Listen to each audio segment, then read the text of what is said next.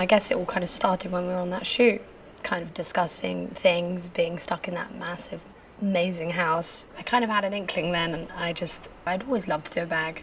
You know, Alexa did that amazing bag, which was one of my favourites. And I, I was like, yeah, that'd be awesome, I'd love to do that, but I never thought I would.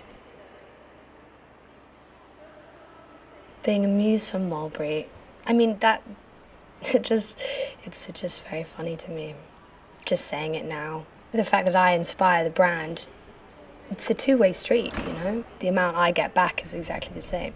It didn't really feel like it was like, you know, a first meeting kind of thing now when I think about it, because everything flowed so quickly and easily. It all just suddenly all sat down. We all have a common interest. We all here for one reason.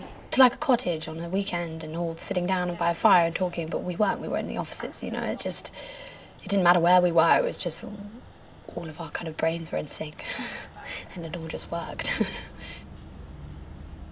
Fashion I kind of grew into and that kind of became part of my life. At school, my friends had handbags and all this kind of stuff and I always just kind of used more like a sack and it had holes in it. It was never good, it was never practical. And then when I got my first Mulberry handbag, it worked, but I needed more practicalness eh, because, you know, people now don't just do one thing. You have so many interests and hobbies and different things going on in your life. You have to, your bag has to match that, has to match your lifestyle.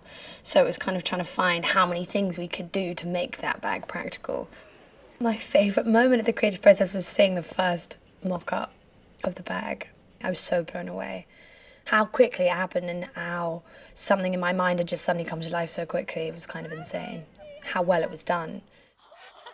I like to be comfortable and I like to be practical, but I do love to be elegant and I do love to dress up. but it's the not trying too hard or the not, you know, it's just effortless. You know, that's what I want. What's the point in putting your name to something if it's not you or if you haven't really put you in it, you know? Um, so I felt like I really needed to if people are going to buy something which has my name on it or something, that it's got to, you know, I, I love my tattoos. It's something that's me, so it's got I had to kind of it's like you know secret it's like a you know the kind of secret thing which you can kind of go oh yeah I know she's got that oh yeah that heart on the line or you know something like that made in England. Coming into this and knowing that it was Mulberry I knew it wasn't going to be a half-hearted process you know?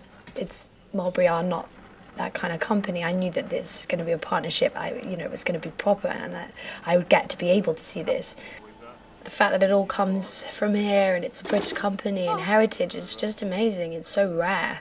I love the countryside. I do. I love London because I grew up in London, but I went to school in the country and there was nothing like it. You know, baking bread, rearing sheep, building fences, you know, running around the forest. Everyone needs a practical bag. I think that translates across the world. The fact that we've made this and it's going to travel around the world. Yeah, it's pretty insane.